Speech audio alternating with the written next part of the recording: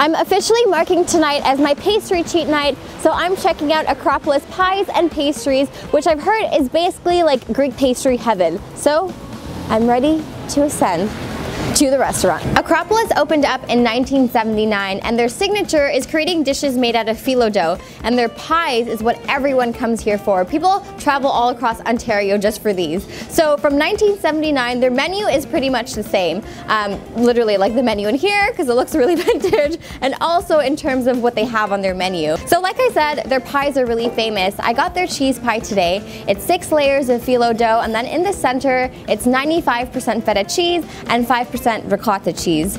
And I love this because the center of it was really creamy and nice. Now on to dessert. I walked in here and the first thing that I noticed was this beautiful, bright, shiny case of baklava. And I was like, I want it.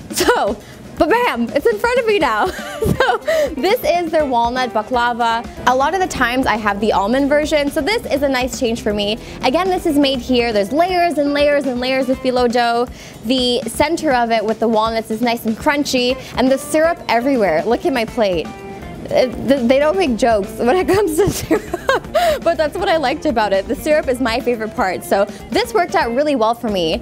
And I only ate half, as you can see, so I'm gonna eat the other half and I'm gonna lick my plate clean, so excuse me while I do that.